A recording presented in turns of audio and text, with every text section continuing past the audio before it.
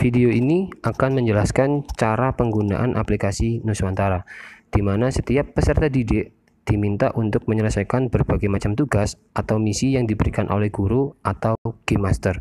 Mereka bisa mengakses di menu challenge, kemudian mereka memilih salah satu tugas yang ada, di mana setiap tugas akan mendapatkan XP dan koin emas. Mereka diminta untuk membaca petunjuk pengerjaannya, kemudian mereka melihat video pembelajarannya, kemudian mereka membaca modul pembelajarannya. Jika sudah, maka mereka tinggal klik selesaikan tombol challenge, mereka masukkan jawaban atas pertanyaan yang diberikan oleh Game Master, kemudian mereka juga harus melampirkan sebuah foto bukti hasil penyelesaian misi ini, bisa dalam bentuk catatan atau lain sebagainya. Kita tunggu sampai filenya terupload dengan sempurna.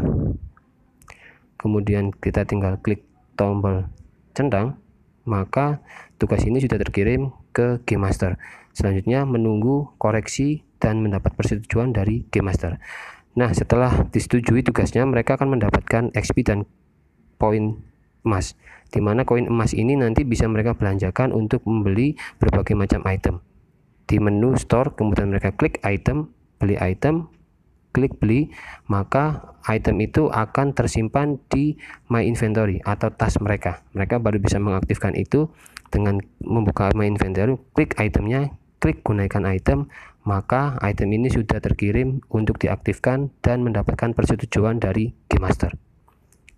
Demikian tutorial singkat penggunaan aplikasi Nusantara. Terima kasih. Wassalamualaikum warahmatullahi wabarakatuh.